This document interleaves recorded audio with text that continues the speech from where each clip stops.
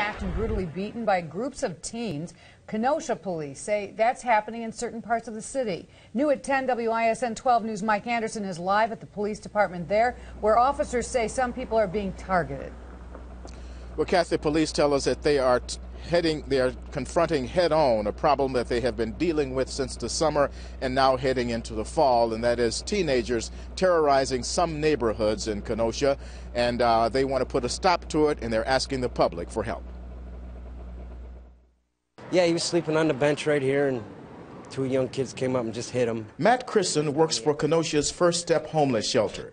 This week, a homeless elderly client was sleeping on a bench around 10 p.m. when two teenage boys beat him up for no apparent reason. They're just beating people up randomly, groups of kids, some two or three at a time, some groups of like 15.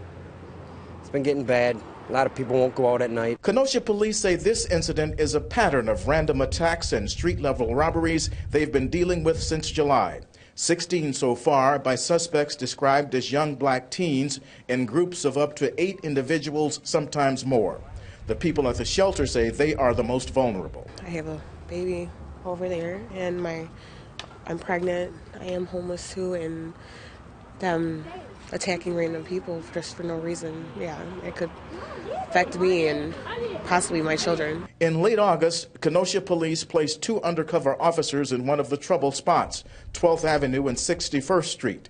Police say those officers were ganged up and got into a violent scuffle. Several young people were arrested.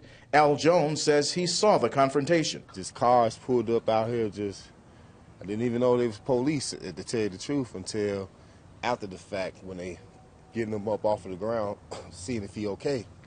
That's how. That's when I knew that it was police. Police arrested seven suspects between the ages of 14 and 16. One of them is a close friend of 14-year-old Justice Thomas. She claims he was arrested unfairly. But Chris actually tried to break up the fight. Police say this is an ongoing investigation. The seven suspects are still in custody pending charges by the district attorney.